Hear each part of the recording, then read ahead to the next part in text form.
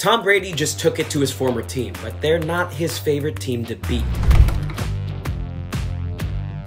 Maybe it's recency, maybe it's the bittersweet nature of his return, but Brady's victory over the Patriots does not sit on his pantheon of wins just yet. That title belongs to the New York Giants. Brady certified his stance on the matter during an appearance on the Let's Go podcast, where he broke down his win over the Pats and the rest of his career. Eli and the Giants might live rent free forever in Brady's head, not just for taking two unlikely rings from him, but for spoiling his chance at a historically perfect season. 19 and 1 will haunt Brady forever, and as he stated previously famously, he'll gladly trade two Super Bowl rings for that perfect season. And that's for Eli Manning, his nemesis, the Brady Slayer. Dude is just vibing all over the place still.